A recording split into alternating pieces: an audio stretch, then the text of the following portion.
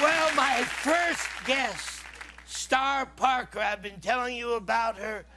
She went through some tremendous obstacles in her life. She's gone through poverty. I told you about her as a single mother on welfare, how she battled drug addictions, abortions. Well, listen, I know you want her to come right on out. I want you to take a look at this before we meet her. I didn't grow up in, in Christianity or a Christian home, so I got lost very early in my life. I started getting involved in um, criminal activity and drug activity and at a really young age, and then progressed into sexual promiscuity that led me to use abortion as a birth control. I was just really out of control. And after the fourth time having an abortion, I just had an instinct that there has to be something wrong with this. I didn't change my sexual patterns and was pregnant again within a very short period of time and opted to have that child. So I looked out at my income options and welfare was the most viable. And so I ended up uh, going signing up and for the next three and a half years watching my life spiral further and further into this dark hole. But I didn't know how to get help. So I was looking to subsidize my welfare check with under the table money. But this particular business I went into said, well, you couldn't work here even if we wanted you to because your lifestyle is unacceptable to God. And when they said God, I got chills. And so I left. And so they kept calling me and, and just checking on me. And then one day he asked me to go to church, and I did. And when the preacher said, Would you like to be saved? Would you like to receive Christ? I said yes. I ended up going to college for marketing. So that's when I went into my own business. Over time, in developing out that business, I started seeing how God provides financially. But I also started seeing this political world, that there were problems. So I started addressing some of these cultural problems in this business that I started, which was a magazine. I opened my Bible and it was on Jeremiah 5. He started talking about, among my people are found wicked men. And then the last little verse said, But what will you do in the end? And that's when I knew I needed to make a decision if I'm going to be an activist. So I made a decision then that I was never going to leave my story and that I would always share what God had done in any political environment that I was in. And I think that in my willingness to say, Lord, I just want to be available. It allowed him to start moving in my life, to start moving me up to different heights. And when you do that, today is the day of your salvation. Please welcome with me Star Parker.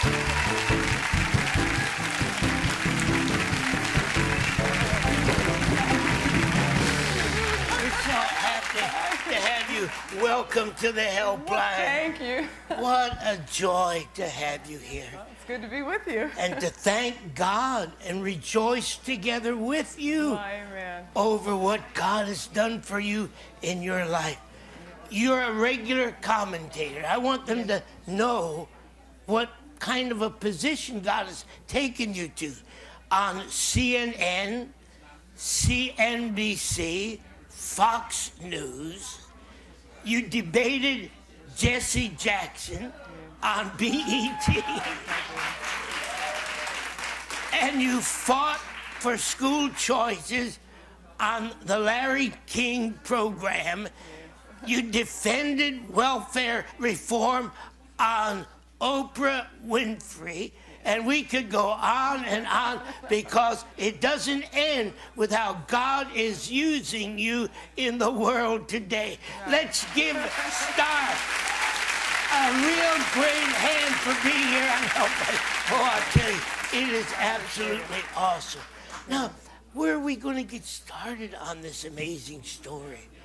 I think where we start is where he starts. When he sees us, he sees us as his favorite. He sees us individual and unique, and no matter where we are in that station in life, He just wants to touch us. And so I had carved out my way, and my way was very dark. I was living a very aggressive life. I was in criminal activity, I was in drug activity, I was in sexual promiscuity. I went in and out of abortion clinic after clinic. It wasn't until the fourth time I had a gut instinct way down deep inside that there just has to be something wrong with this. You know, everything in the society said it's okay, but you know, I was getting tired. And I got pregnant again within a very short period of time. And this time I opted to have that child. And I ended up living on welfare. That's Angel. That's yes, Angel. that's Angel. Uh, who today is married and has my wonderful grandbaby. The Lord will take you a long way. Wow! Yes. God is good. He's very good. He's very good. And so when I when he found me, I was in a little dark hole and I didn't even know it. I mean, I was so out of control that I thought that living on welfare was just my lot and that's what I was going to just do. I wasn't thinking much about a future and I hadn't known the Lord. And then one day I looked to subsidize my welfare check and I went into this business in South Central LA and the men there were Christian men and said they didn't pay like that and my lifestyle was unacceptable. Now, I just want to point out to us right here a little caveat that the God we serve is a God of plan and purpose. I know.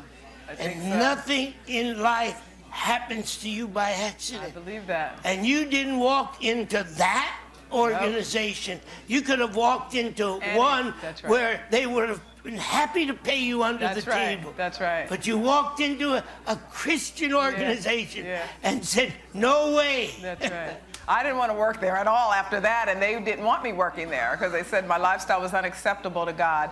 And that was the first time I actually started thinking about does God think about my life? And I remembered some of the activity I'd gotten involved in the breaking and entering, the armed robbery. And, you know, I was living with a man at the time, and I was um, just out of control. And they kept calling me, wanting me to go to church with them. And so once I made the decision I was going to go to church with them, mostly to get them off my back, I heard the gospel. And that's when I knew that, wow, there's somebody that loves me deeply. And I wanted to be a part of it.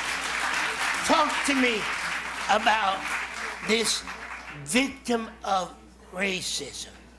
You know, sometimes we are affected in this life by mental lies Right.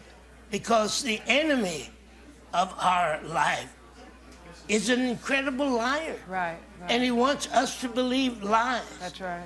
What- Well, for me, it wasn't just a mental lie. I, all that represented me because they wore the same color skin I did in the political arena, whether it was in the media arena, told me that I was a victim, that America was inherently racist and there was really no place for blacks to excel unless government was involved. And I believed all of that. And I also believed that we could do anything we want um, in life, that there were no absolutes. So you couple those things together and it's pretty um, dark. It's pretty easy to get lost. And so that's why I was lost. But in Christ, I found that God just loves all of us. And He loves us so much that He allows us to intermingle with one another. And I found good, solid Christian friendships outside of my ethnicity. So I decided in my own life that I was not going to look at color, that I was going to look to Christ every time a situation Oh, arose.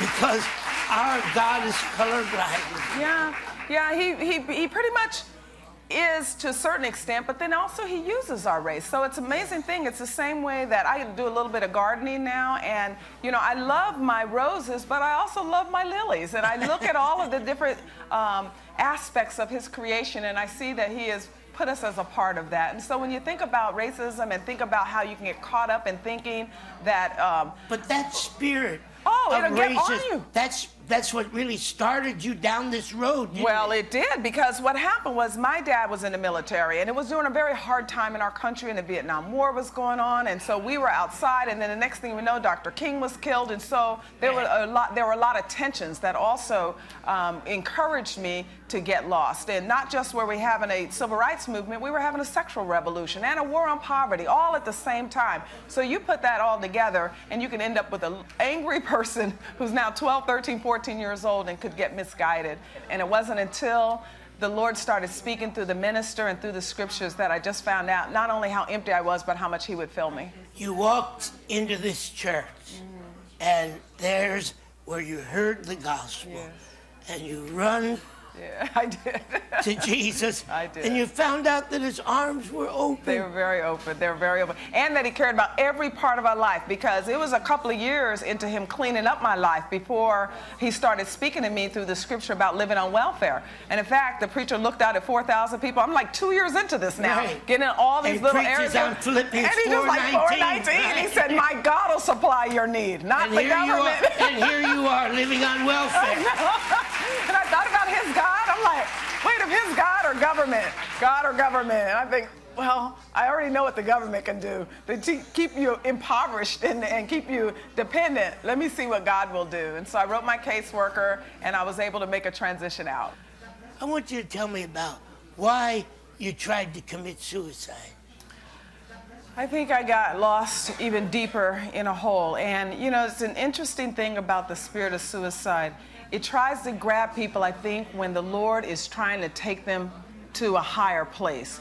And when we find, you know, what was it? A great theologian that said, He who suffers most is capable of yielding most. So people that will allow that suicide spirit to come on them are actually more open to hear from the Lord, open to say, you know, um, I can't do this life by myself. So somebody watching you right now Yeah. should listen to what you're telling them. Well, they should because it's easy to say, I'm just going to give up. It's hard to live this life. It can be a life of suffering, it can be a life of pain. Every day is very different. But what, what they need to know, what you need to know is that you're God's favorite. He loves us so much that He individually says, I have better plan for you. And it's difficult to believe and trust that, but once you do and you say, okay, I can map out my whole life, but if I just look at today to say, how beautiful he is, how great are you, Lord, then he'll begin the process of healing you up. It's so um, complex, but yet it's so simple that God was in Christ. He was reconciling the world to himself,